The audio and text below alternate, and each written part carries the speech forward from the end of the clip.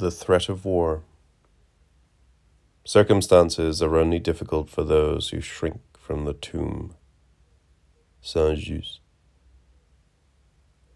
It is useful here to present a few counter-arguments to the repudiations voiced by some people and the evasions of others by means of a small number of unequivocal assertions.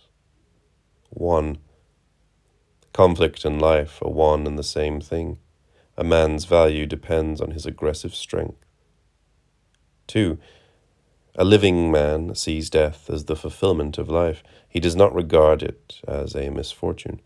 On the other hand, a man who does not have the strength to find something bracing in his death is already somewhat dead. 3. If the intention is to discover the limits of human destiny, then it is impossible to remain alone and a veritable church must be formed, laying claims to a spiritual power and at the same time establishing a force that can be developed and is capable of influencing others.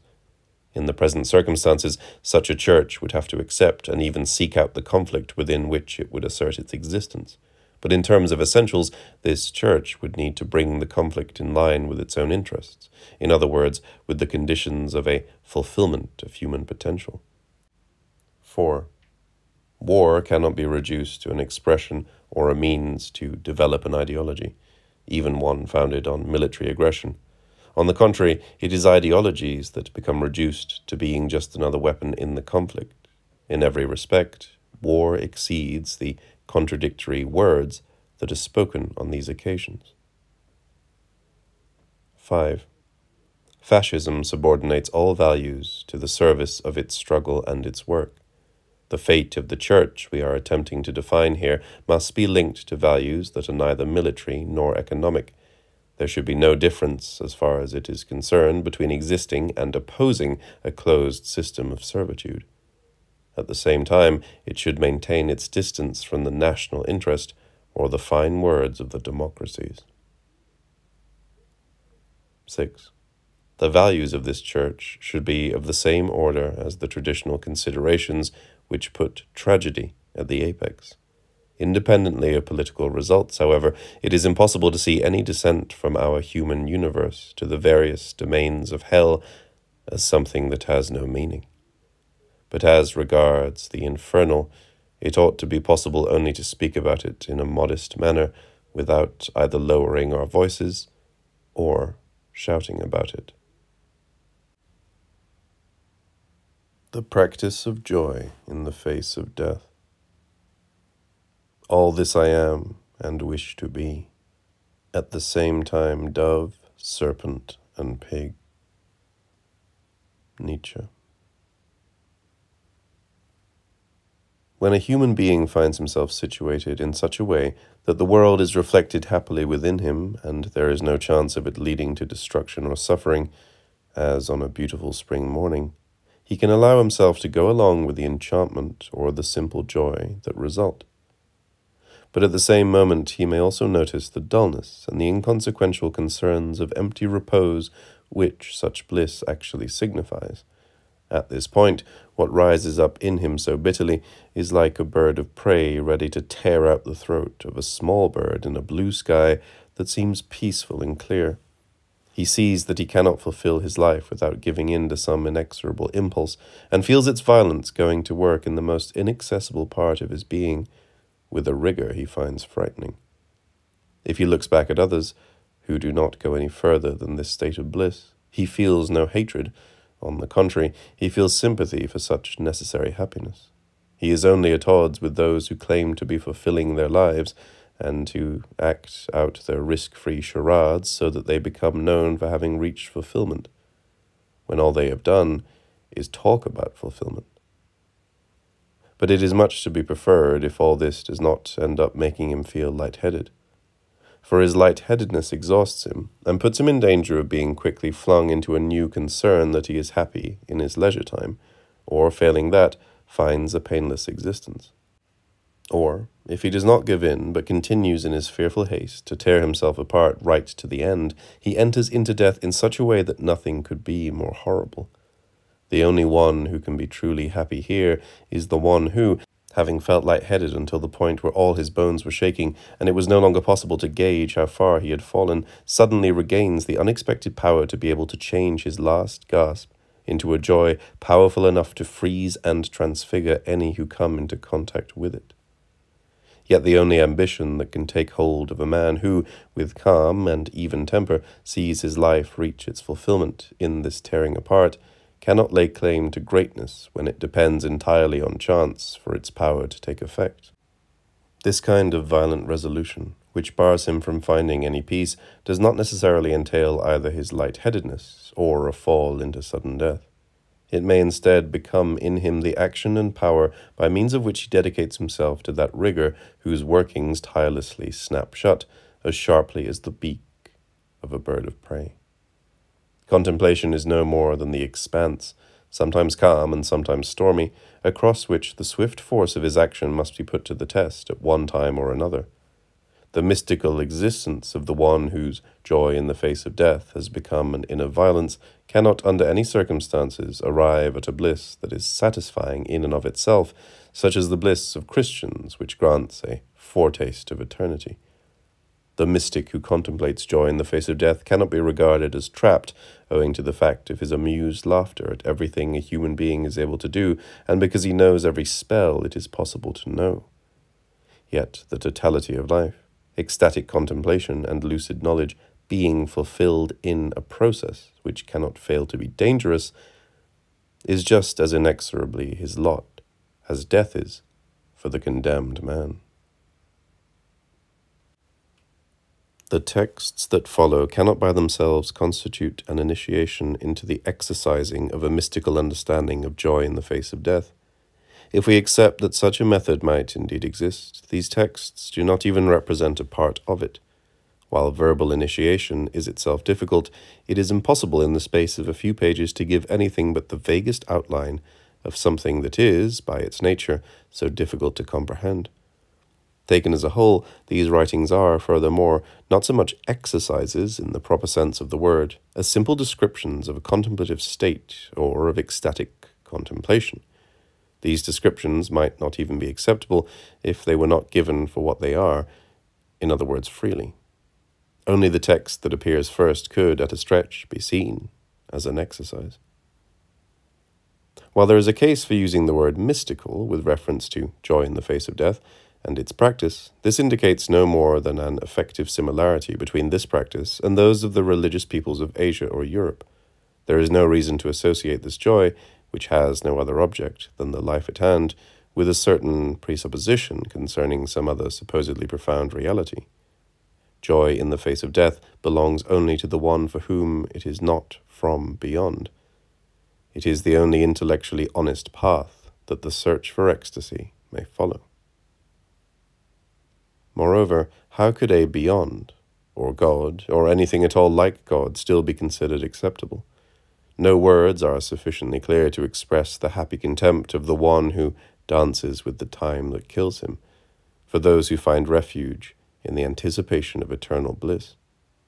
This kind of timorous holiness, which right from the start had to be shielded from erotic excesses, has now lost all its power the only reaction can be to laugh at a sacred intoxication which sought to make itself consistent with a holy horror of debauchery. Prudery is perhaps a wholesome thing for the misguided, yet whoever would be afraid of naked girls and whiskey would have very little time for joy in the face of death. Only a shameless, immodest holiness can lead to a sufficiently happy loss of self. Joy in the face of death means that life can be glorified from its roots to its summit. It deprives of all meaning anything that is an intellectual or moral beyond, whether substance, God, immutable order, or salvation. It is an apotheosis of the perishable, an apotheosis of the flesh and of alcohol, as well as the trance states of mysticism. The religious forms it rediscovers are the primitive forms that preceded the intrusion of servile morality. It revives that type of tragic jubilation that man is once he ceases to behave like a cripple, taking pride in necessary work and allowing himself to be emasculated by the fear of tomorrow. 1. I give myself up to peace until my annihilation. The sounds of struggle are lost in death like rivers in the sea, like the brilliance of stars in the night. The power of conflict is fulfilled in the silence of all action. I enter into peace as into a dark unknown. I fall into this dark unknown. I myself become this dark unknown. 2. I am joy in the face of death. Joy in the face of death upholds me. Joy in the face of death casts me down. Joy in the face of death annihilates me. I remain in this annihilation, and from there imagine nature as a play of forces expressed in a multiple and never ending death agony. In this way, I slowly become lost in meaningless and endless space. I reach the end of worlds. I am gnawed at by death. I am gnawed at by fever. I am absorbed into the darkness of space. I am annihilated in joy in the face of death. 3. I am joy in the face of death. The depths of the sky, the emptiness of space, this is joy in the face of death. Everything is deeply cracked. I picture the earth spinning giddily in the heavens. I picture the heavens themselves slipping, spinning, and becoming used up. The sun, like an alcohol, spinning and exploding until out of breath. The depths of the sky, like a debauch of icy light, becoming lost. All that exists destroying itself, consuming itself, and dying, each moment only bringing itself forth in the annihilation of the one that came before, and itself only existing with fatal wounds. I too destroying and consuming myself endlessly within myself in a great festival of blood. I picture the frozen moment of my own death. Note, one night, in a dream, X feels he has been pierced by lightning. He understands that he is dying and is at once miraculously dazzled and transfigured. At this moment in his dream, he reaches the unexpected, but then wakes up. 4. I fix a point in front of me and picture this point as the locus of all existence and all unity, all separation and all anguish, all unsatisfied desire and all death that is possible. I cling to this point, and a deep love for what is in this point burns away at me until I refuse to continue living for any other reason than for what is there, for that point which, being together the life and death of the beloved being, thunders like a cataract. And at the same time, it is essential that all external representations are stripped away from what is there until it is nothing but pure violence, an interiority, a pure inner fall into a limitless abyss this point endlessly absorbing the whole cataract of the nothingness within it. In other words, what is vanished, past, and in the same movement endlessly prostituting a sudden apparition to the love that seeks in vain to grasp what will cease to be. The impossibility of being satisfied in love is a guide for the leap to fulfillment, at the same time as being the nullification of all possible illusion. 5. If I picture myself in a vision, within a circle of light that transfigures the ecstatic and exhausted face of a dying being, what radiates from this face of necessity lights up the clouds in the sky, whose glimmering grayness thereby becomes more penetrating than the light of the sun itself. In this representation, death appears to be of the same nature as the illuminating light, insofar as the latter fades away after leaving its source.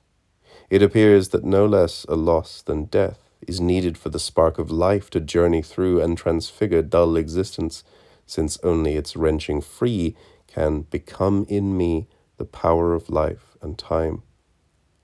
And so I cease to be anything except the mirror of death, just as the universe is only the mirror of light. 6. Heraclitean meditation. and I am war. I picture a human movement and rebellion which are limitless in their potential. This movement and this rebellion can only be appeased by war. I picture the gift of an infinite suffering, of blood and bodies opened up, in the image of an ejaculation, knocking down the one it shakes and leaving him to an exhaustion racked with nausea. I picture the earth projected into space, like a woman screaming with her head on fire. Before the terrestrial world, whose summer and winter regulate the death agony of everything that is alive, before the universe formed of countless spinning stars that fade away and consume themselves beyond measure, all I can see is a succession of cruel splendors whose movement alone is enough to require my death. This death is merely an explosive consumption of all that was, the joy of existing felt by everything that comes into the world, up until my own life requires that everything that is, and in all places, endlessly gives itself up and disappears into nothingness. I picture myself covered with blood, broken but transfigured, and in harmony with the world, at the same time a victim and one of the jaws of time, which is constantly killing and constantly killed. Almost everywhere there are explosives and it will perhaps not be too long before they put out my eyes. I laugh when I think that these eyes continue to ask for objects that cannot destroy them.